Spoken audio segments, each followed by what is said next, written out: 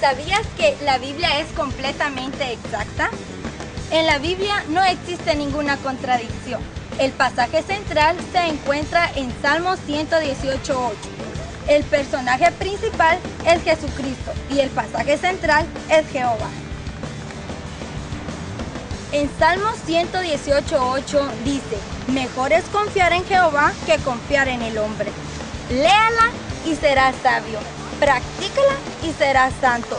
Créala y te protegerá y será como una luz en tu camino para ser un buen cristiano.